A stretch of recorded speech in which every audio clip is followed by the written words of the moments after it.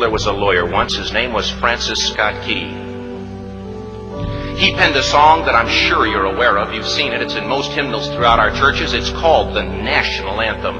It is our song as an American. We go, however, to a ball game. We stand in our church services and we sing the words of that song, and they float over our minds and our lips, and we don't even realize what we're singing. Most of us have memorized it as a child, but we've never really thought about what it means. Let me tell you a story. Francis Scott Key was a lawyer in Baltimore. The colonies were engaged in vicious conflict with the mother country, Britain. Because of this conflict and the protractedness of it, they had accumulated prisoners on both sides. The American colonies had prisoners and the British had prisoners. And the American government initiated a move. They went to the British and they said, let us negotiate for the release of these prisoners. They said, we want to send a man out to discuss this with you. They were holding the American prisoners in boats about a thousand yards offshore. And they said, we want to send a man by the name of Francis Scott Key. He will come out and negotiate to see if we can make a mutual exchange. On the appointed day in a rowboat, he went out to this boat and he negotiated with the British officials. And they reached a conclusion that men could be exchanged on a one for one basis. Francis Scott Key, jubilant with the fact that he'd been successful, went down below in the boats, and what he found was a cargo hold full of humanity, men. And he said, Men, I've got news for you tonight. You're free. He said, Tonight I have negotiated successfully your return to the colonies. He said, You'll be taken out of this boat, out of this filth, out of your chains. As he went back up on board to arrange for their passage to the shore, the admiral came and he said, We have a slight problem. He said, We will still honor our commitment to release these men, but it'll be merely academic after tonight. It won't matter. And Francis Scott Key said, What do you mean? He said, Well, Mr. Key, he said, tonight we have laid an ultimatum upon the colonies. Your people will either capitulate and lay down the colors of that flag that you think so much of, or you see that fort right over there, Fort Henry?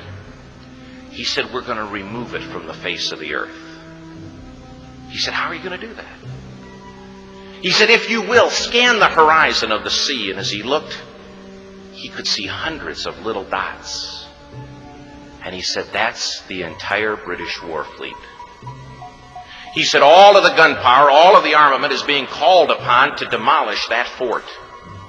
It will be here within striking distance in a matter of about two and a half hours. He said, The war is over. These men would be free anyway. He said, You can't shell that fort. He said, that's, that's a large fort. He said, it's full of women and children. He says, it's predominantly not a military fort. He said, Don't worry about it.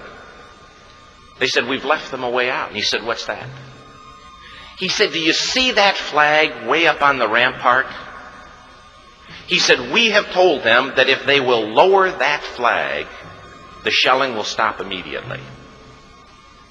And we'll know that they've surrendered, and you'll now be under British rule. Francis Scott Key went down below and told the men what was about to happen. And they said, How many ships? He said, Hundreds. The ships got closer. Francis Scott Key went back up on top and he said, Men, I'll shout down to you what's going on as we watch. As twilight began to fall, and as the haze hung over the ocean as it does at sunset, suddenly the British war fleet unleashed. He says the sound was deafening. There were so many guns that there were no reliefs. He said it was absolutely impossible to talk or hear. He said suddenly the sky, although dark, was suddenly lit. And he says from down below, all he could hear the men, the prisoners, saying was, Tell us where the flag is. What have they done with the flag? Is the flag still flying over the rampart? Tell us. One hour, two hours, three hours into the shelling. Every time the bomb would explode and it would be close to the flag, they could see the flag in the illuminated red glare of that bomb. And Francis Scott Key would report down to the men below, it's still up. It's not down.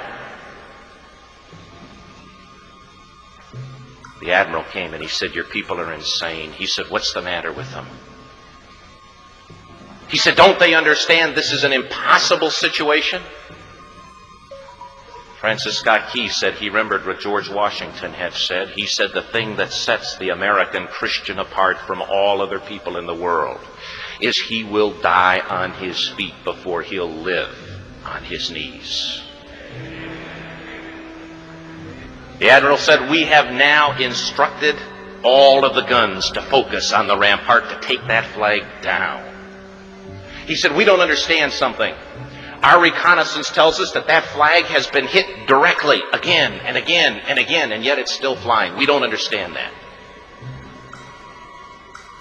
But he said, now we're about to bring every gun for the next three hours to bear on that point. Francis Scott Key said the barrage was unmerciful. All that he could hear was the men down below praying.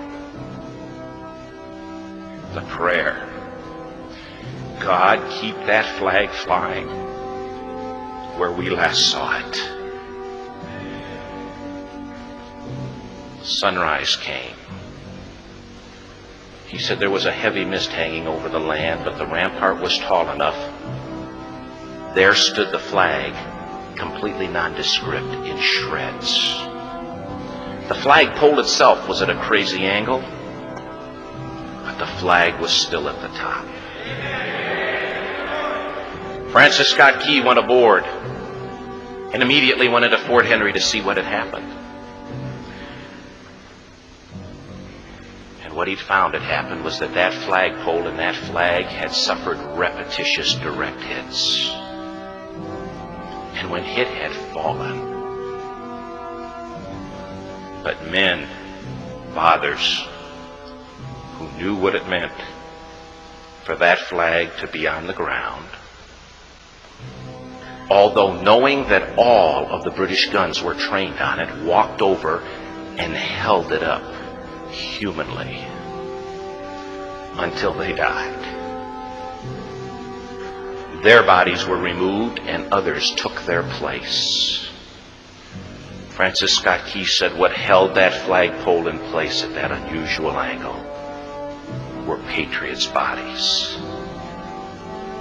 He penned the song, Oh, say can you see by the dawn's early light what so proudly we hailed at the twilight's last gleaming.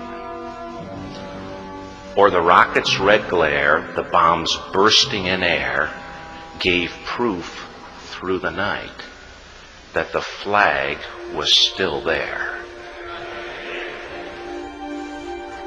Oh, say, does that star spangled banner yet fly and wave? Or the land of the free and the home of the brave?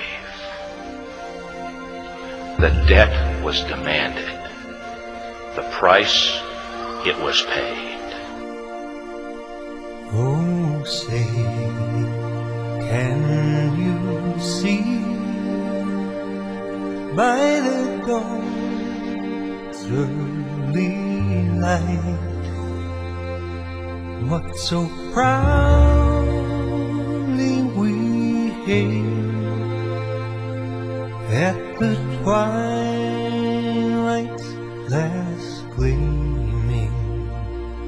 whose broad stripes and bright stars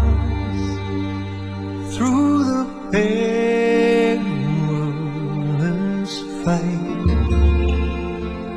o'er the ramparts we watched were so gallantly streaming and